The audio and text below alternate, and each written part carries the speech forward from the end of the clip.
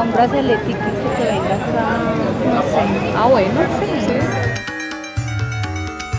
La jagua es, es la clorofila de la semilla y es como mágica, porque no a todo el mundo le pinta.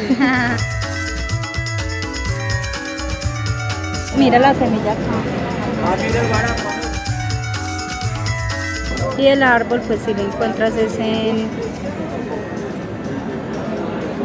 en, tierra caliente.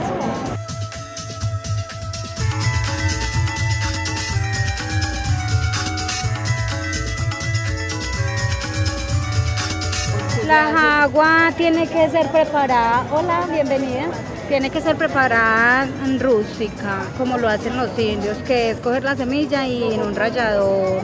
¿sí? Ya después es transparente y ya después va cogiendo este color, ¿sí? Que parece negra, pero mira que no es negra, es azul. De una semilla sale esto, por ejemplo. Sí, pero con eso tatúas demasiado. sí.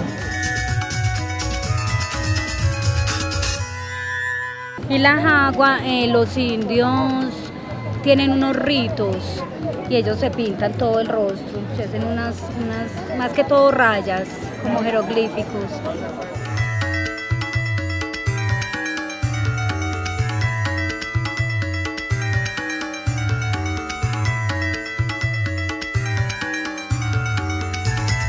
Yo lo estoy viendo como ya bien, sí.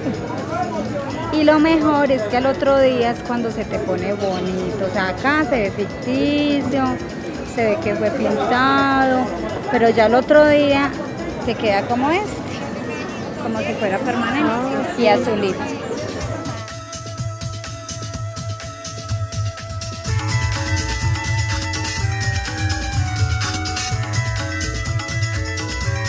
Me parece muy mágica porque es una de las pocas semillas que hace esa función.